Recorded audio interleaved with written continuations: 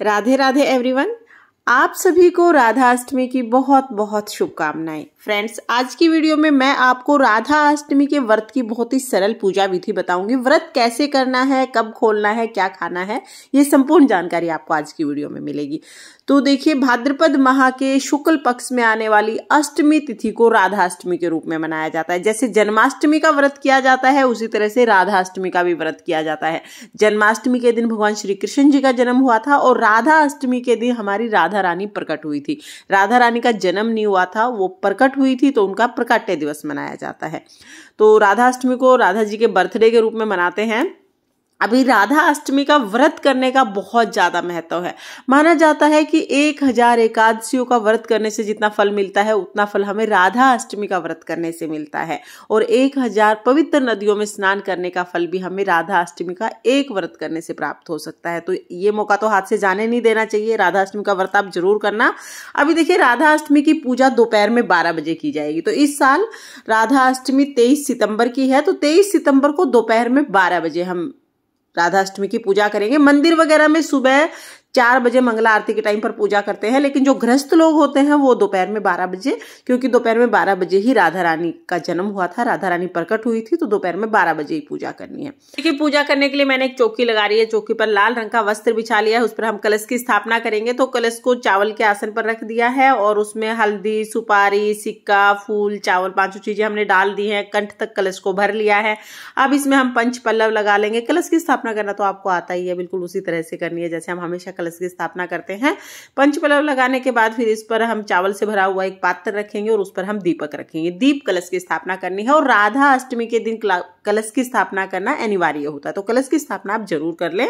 इसके बाद आप चौकी को सजा सकते हैं। मेरे पास जब टाइम नहीं होता है ना सजाने का तो मैं ये फूल बंगला लगा देती हूँ, क्योंकि फूल बंगला लगाने से थोड़ा अच्छा सा लगता है। तो मैंने यहाँ पर फूल बंगला लगा दिया है। अब आप चाहे तो गणेश जी की अलग से स्थापना कर सकते हैं, या जो कलश है, कलश में सभी देवी देवताओं का वास होता है तो कलश के रूप में भी आप गणेश जी का पूजन कर सकते हैं। यहाँ पर हम भगवान श्री कृष्ण राधा जी की फ़ोटो या मूर्ति जो भी स्वरूप आपके पास है, उन्हें आप विराजमान कर ले। भगवान श्री कृष्ण और राधा एक ही है। अगर आपके पास लड्डू गोपाल जी हैं तो आप लड्डू गोपाल जी को भी भगवान श्री कृष्ण राधा के रूप में पूजा कर सकते हैं। मेरे पास ये भगवान श्री कृष्ण राधा जी की फ़ोटो है तो मैं फ़ोटो से पूजा कर लूँगी। अब देखिए, चौकी हमने लगा ली है, स्थापना हमने कर ली है, इसके बाद हम पूजा शुरू करेंगे। तो सबसे पहले तो कलश के ऊपर जो दिया हमने रखा है, उसको हम जलाएँगे। दीपक जलाने के बाद भगवान गणेश जी से प्रार्थना करेंगे कि हमारी पूजा को निर्विघ्न वो पूर्ण करें। इसके बाद जल के छीटे हम लगा देंगे। तो जल के छीटे मैंने यहाँ पर लगा दिए हैं। भाव रूप में स्नान करा दिया है। अब हम सभी को वस्त्र स्वरूप कलावा समर्पित कर देंगे। तो राधा कृष्ण जी की जो फ़ोटो है, उन्हें हम वस्त्र स्वरूप कलावा समर्पित करेंगे। जो कलश है, कलश के कंठ पर हमने पहले ही मोली बाँध दी थी। अभी हम राधा रानी को चुनरी समर्पित करेंगे। तो लाल रंग की चुनरी आप राधा रानी को ज़रूर समर्पित करें। उसके साथ ही हम तिलक कर देंगे। हल्दी से रोली से, चंदन से आप राधा रानी को, भगवान श्री कृष्ण जी को तिलक करें। इसके साथ ही आप कलश को और दिए को भी ज़रूर से तिलक करें। तिलक करने के बाद फिर हम अक्षत समर्पित कर देंगे और उसके बाद फिर हम राधा रानी को सुहाग का सामान ज़रूर समर्पित करेंगे।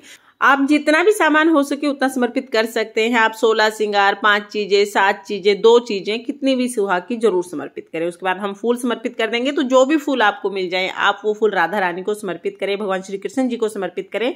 तुलसी हमें ज़रूर समर्पित करनी है, क्योंकि तुलसी के बिना भगवान श्री कृष्ण जी, राधा जी कोई भोग स्वीकार नहीं करते तो तुलसी समर्पित कर देंगे। उसके बाद फिर हम भोग समर्पित करेंगे। तो भोग में आप दही अरवी की सब्ज़ी इस दिन ज़रूर बनाए, क्योंकि राधा रानी को दही अरवी अति प्रिय है। उसके साथ साथ कुछ भी मीठा अपने घर पे ज़रूर बनाएँ। जैसे जब भी हमारे घर पे किसी का बर्थडे होता है तो मीठा बनता है। तो अच्छे अच्छे पकवान बना के आप राधा रानी भगवान श्री कृष्ण जी को भोग समर्पित करें। इस दिन बहुत से लोग छप्पन भोग भी समर्पित करते हैं। तो आप चाहे तो आप छप्पन भोग भी लगा सकते हैं। कोई भी ऋतु फल आप समर्पित कर सकते हैं भोग में। भोग समर्पित करने के बाद हाथ जोड़कर भोग स्वीकार करने के लिए भगवान से प्रार्थना करेंगे। इसके बाद हमें न्यौछावर करनी है। तो देखिए, जितनी भी आपकी श्रद्धा है, जितना सामर्थ्य है, उतनी आप न्यौछावर करें। सात बार ऐसे भगवान श्री कृष्ण राधा रानी के ऊपर से हम ये जो पैसे हमने लिए हैं, वो वार देंगे। उसके बाद आप चाहें तो आप ये न्योछावर दान कर सकते हैं। या आप चाहें तो राधा रानी का विग्रह अगर आपके पास है तो उनके लिए कोई चीज़ भी ला सकते हैं। जैसे बर्थडे पर हम बच्चे को सगुन के पैसे देते हैं, उस तरह से इससे आप कोई भी चीज़ राधा रानी के लिए ला भी सकते हैं। इसके बाद हम कथा सुनेंगे तो एक लोटा जल मैंने ले लिया है, हाथ में मैंने फूल ले लिए हैं। अब हम राधा अष्टमी की व्रत कथा सुनेंगे। राधा अष्टमी की व्रत कथा का वीडियो आपको मेरे चैनल पर मिल जाएगा। लिंक मैं आपको डिस्क्रिप्शन में दे दूँगी, वहाँ से देख लेना। कथा सुनने के बाद जो फूल हैं वो राधा रानी के चरणों में समर्पित कर देंगे। कुछ फूल हम जल के लोटे में डाल देंगे। फिर हम धूप, दीप दिखाकर आरती करेंगे। तो आप जो कलश के ऊपर दिया जलाया है, उससे आरती नहीं करनी है। अलग से कपूर से आरती कर सकते हैं या अलग से दिया जला सकते हैं। पहले गणेश जी की आरती करनी है, उसके बाद हम राधा कृष्ण जी की आरती करेंगे। बहुत ही प्रेम पूर्वक आरती करने के बाद हाथ जोड़कर पूजा में रही कमियों के लिए स्मा याचना करेंगे और अपनी मनोकामनाओं को पूर्ण करने के लिए प्रार्थना करेंगे। इस तरह से राधा अष्टमी की पूजा पूर्ण हो जाएगी। फ्रेंड्स राधा अष्टमी की पूजा ग्रस्त लोग दोपहर में 12 बजे ही करते हैं। राधा अष्टमी के दिन दोपहर में 12 बजे हमें पूजा करनी है। अगर राधा रानी का विग्रह आपके पास है तो उन्हें पंचामृत स्नान भी आप ज़रूर कराएँ। अब पूजा करने के बाद जो जल का लोटा है वो सूर्य देवता को अर्घ दे देंगे। जो भी भोग प्रसाद हमने चढ़ाया है, वो सभी भक्तजनों में, सभी परिवार के सदस्यों में हम प्रसाद स्वरूप बांट देंगे। अब देखिए, व्रत अगर आपने 12 बजे तक का ही किया, ज़्यादातर ये व्रत दोपहर में 12 बजे तक का ही किया जाता है, उसके बाद व्रत का पारण कर दिया जाता है पूजा के बाद। तो अगर आपने दोपहर में बारह बजे तक का ही व्रत किया है तो शाम के समय आप ये चौकी उठा सकते हैं, जो कलश है, उसका जल आप पौधों में डाल देंगे। कलश के ऊपर जो चावल है, वो हम अपने घर में यूज़ कर सकते हैं। और जो भी हमने सिंगार का सामान समर्पित किया है, वो राधा रानी के आशीर्वाद के रूप में आप उसको यूज़ कर सकते हैं। तो इस तरह से हम चौकी उठा देंगे। फ्रेंड्स, राधा अष्टमी का व्रत तीन तरह से किया जाता है। इसका वीडियो भी मैंने चैनल पर अपलोड कर दिया है, जिसमें आपको डिटेल में पता चल जाएगा कि तीनों तरह से हम किस तरह से राधा रानी का व्रत करते हैं। वैसे यहाँ पर भी मैं शॉर्ट में आपको बता देती हूँ कि कुछ लोग सप्तमी के दिन व्रत करते हैं और अष्टमी के दिन सुबह चार बजे मंगला आरती करके और फिर व्रत खोलते हैं। कुछ लोग पूरे दिन का व्रत करते हैं, राधा अष्टमी के दिन सुबह से रात तक का व्रत करते हैं, रात को चंद्रमा को अर्घ दे व्रत खोलते हैं। और ज़्यादातर लोग जो व्रत करते हैं, वो राधा अष्टमी के दिन सुबह से व्रत करते हैं। दोपहर में 12 बजे राधा रानी का पंचामृत स्नान करा के, राधा रानी का पूजन करके, राधा अष्टमी की पूजा के बाद व्रत का पारण कर लेते हैं।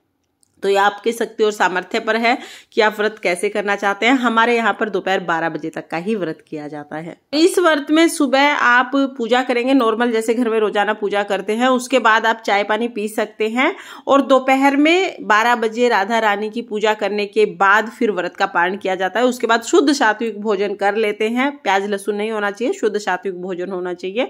तो राधा अष्टमी की पूजा के बाद, यानी बारह बजे के बाद आप व्रत का पारण कर सकते हैं। फ्रेंड्स, अगर ये वीडियो आपको पसंद आई हो, वीडियो अगर आपके लिए थोड़ी बहुत भी यूजफुल हो तो प्लीज़ प्लीज़ वीडियो को लाइक कर देना और हम महिलाएँ घर में तीज त्यौहार कैसे करते हैं, देखने के लिए मेरे चैनल को सब्सक्राइब कर लेना। राधे राधे।